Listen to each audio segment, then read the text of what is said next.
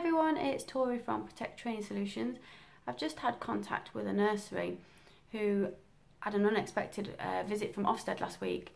Fortunately, all their practical policies were in place, but unfortunately, their paperwork side of things let them down in relation to their policies, in relation to their safeguarding training.